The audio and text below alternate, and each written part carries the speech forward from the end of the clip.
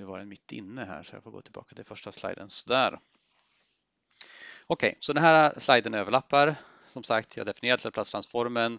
Eh, att kolla att den är linjär är en övning. Eh, och eh, då ska vi se hur kan vi använda den här för att beräkna Laplace-transformen för några exempelfunktioner som vi redan känner till.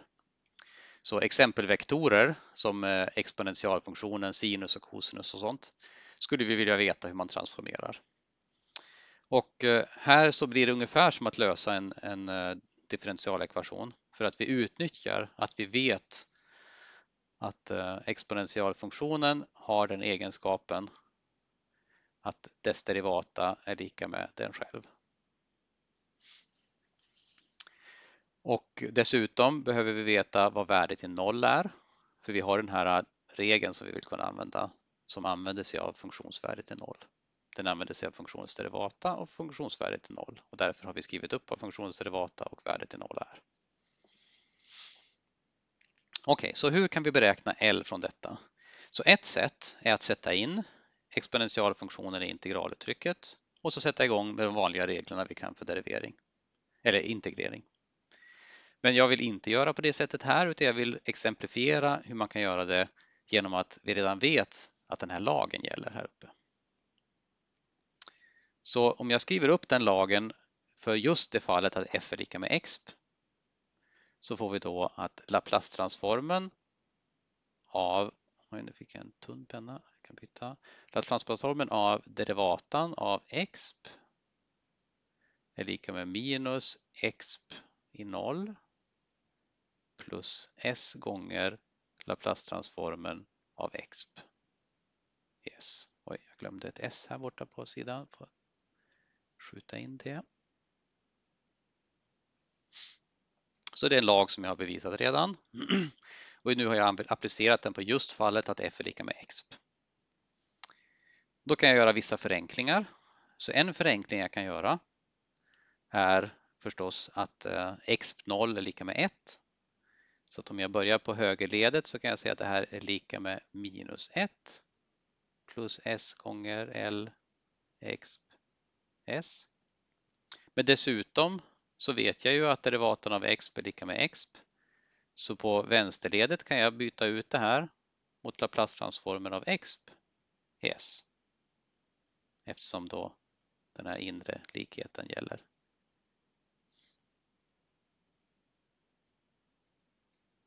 Så nu har jag utnyttjat mina två egenskaper. Och vi har fått en ekvation som vi kan undra vad vi kan ha till nytta av. Men då kan man se att faktum är att vi har en vektor här i vektorrummet W och här har vi den vektorn igen. Ja, det är inte en vektor egentligen, det är en punkt av den vektorn applicerad på en punkt. Men i alla fall, vi har ett värde, vi har ett komplext tal här, ett komplext tal här. Och den ekvationen vi har bestämmer vad det talet ska vara. Så vi kan räkna ut, vi, vi, vi kan för att det ska inte kännas så förvirrande så kan vi kalla det för någonting kan kalla det här för um, K till exempel. Då vet vi att det här är också samma K. Så då har vi ett väldigt enkelt ekvationssystem här. K uppfyller villkoret minus, att det är lika med minus 1 plus S gånger K. Och ja, den ekvationen bör vi kunna lösa. Om vi flyttar över så att vi har alla K på samma sida så får vi, eh, oj, eh, vi får S minus 1 gånger K. Då har jag tagit SK här och så har jag flyttat över ett minus K på den sidan. Och så får jag flytta över minus 1 åt andra hållet. Så det här blir lika med 1. Det vill säga K är lika med 1 genom S minus 1. Så genom att identifiera att det här är faktiskt bara ett tal och det är samma tal som står här och jag har en ekvation som ska uppfyllas. En väldigt enkel linjär ekvation så jag kommer fram till vad det talet måste vara. Nu är det här talet k är förstås beroende på s. Som jag vill kan jag sätta ett litet subskript här, ks. Och det är då den här Laplace-transformen av, av min exponentialfunktion.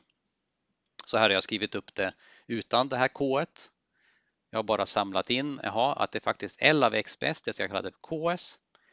Den multipliceras med 1 minus s och är lika med minus 1 och så dividerar jag, det vill säga Laplace-transformen av X är funktionen som tar s till 1 genom s minus 1.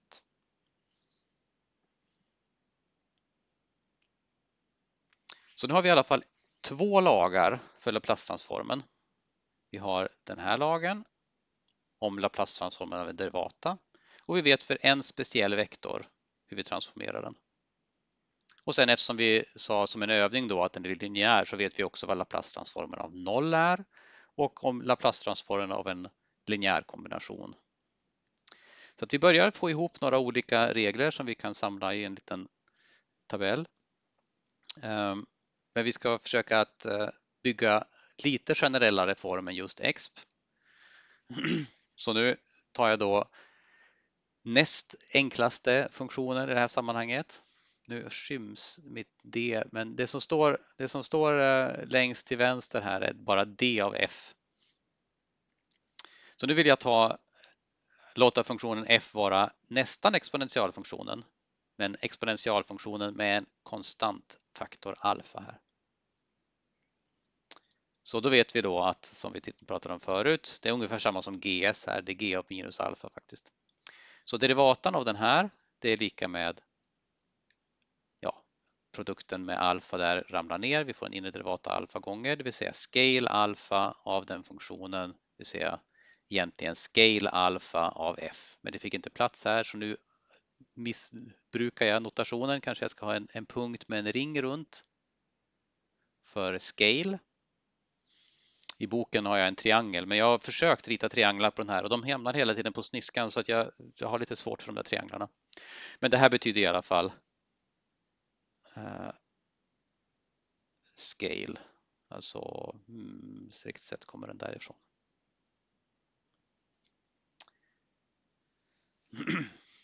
Okej, okay, så nu har jag orsaken jag beräknade den här raden vad derivaten av f är, är för att jag vill använda samma idé som på förra sliden för att beräkna nu Laplace-transformen med hjälp av regeln för Laplace-transformen av en derivata. Så jag skriver upp regeln igen, Laplace-transformen av en derivata och då vet jag att d, derivaten av f, där jag har valt f till den här funktionen, den var då alfa scale f. Och jag vet att linjärt, eller Laplace-transformen är linjär så att min multiplikation med min skalning med alfa här blir en multiplikation med alfa här ute. Och sen använder jag den här regelns högerled, det vill säga minus f i 0 plus s gånger LFS. Och jag vet att f av 0 även här, eller sorry, eh, även den här funktionen i 0, om t är 0 så är alfa t också 0, så det blir e upp till 0, vilket är 1. Så jag får minus 1 plus s gånger LFS. Och på precis samma sätt som på förra sliden kan jag då samla alla LFS på vänstersidan. Jag kallade den KS för ett tag sedan. Jag har alfa minus s sådana, jag har minus 1 kvar därifrån. Och sen så dividerar jag bara med alfa minus s och får det här bråket. Så då kan man undra, vad har jag eh, vad är jämförelsen? Stämmer det här överens med det förra resultatet? Om vi går till förra bilden så stod det att om jag bara har exp så blir det s minus 1. Om jag har exp alfa t här så blir det s minus alfa. Ja, det stämmer ju bra då, för att om alfa är 1 så är det precis exp-funktionen. Så här har jag ett, eh, ett specialfall är det som vi såg på förra sliden, att eh, alfa är lika med 1 här. Ett annat specialfall är om alfa är lika med 0. Vad får vi då? Alltså vad, vad säger vi, vad, vad är Laplace-transformen av eh, lambda t till e upp till 0 gånger t? Yes. Ja, enligt den här formeln så är det då 1 genom s, s minus 0, alltså bara 1 genom s. Och då är frågan, vad är det här för funktion? Jo, det är alltså Laplace-transformen av 1 kan vi säga. Alltså one är då lika med konst 1. Funktionen som alltid returnerar 1 eftersom e upphöjt till 0 är 1. Så Laplace-transformen av något så enkelt som en konstant funktion är alltså också ett enkelt uttryck men inte fullt lika enkelt. Det är en funktion av s som ger 1 genom s. Så den här generella regeln ger både förra slidens svar med alfa lika med 1 och det här exemplet för Laplace-transformen av en konstant. Och det här är en sak som det är ganska vanligt att man gör fel på potentan. Ibland finns det en diffekvation där det står en konstant i högerledet. Och då glömmer man att konstanten också måste transformeras. Konstanten transformeras inte till en konstant utan konstanten transformeras till en, ja i det här fallet ett JMS. Okej, okay. perfekt. Det här går ju som smort. Så det här kommer vi att lösa efter paus, men jag först ska introducera bara så vi ser vad för slags grejer, vad, vad man har Laplace-transformaren till. Så det här är en typ av uppgift och det som står här då först är att vi har en ekvation mellan ett vänsterled och en högerled som involverar en funktion f och deras derivator, första och andra derivator och nollte derivatan. Då. Och två gånger här är ju egentligen då Eh, skalning med 2 och skalning med 3. Och om det är en andra ordningens diffekvation, alltså den har derivater av högst andra ordningen, så behöver jag två basrandvillkor här. Jag behöver veta vad funktionens värde i noll är och vad derivatans värde i noll är. Så det här är ett exempel på en diffekvation och det är också ett exempel på en diffekvation av den form som vi redan har löst med Haskell kan vi säga, eller för hand i approximativ form förra veckan. Nämligen att vi tittade på hur ser den potensserien för lösningen ut.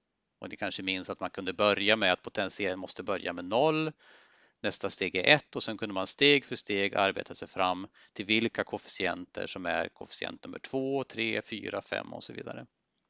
Och från det med en rekurrensekvation kan man få alla koefficienter, men det är lite svårt att känna igen kanske vilken lösning man har fått.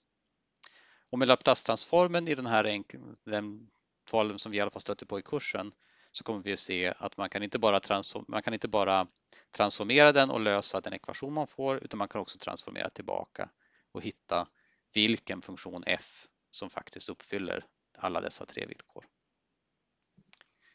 Men det blir efter paus.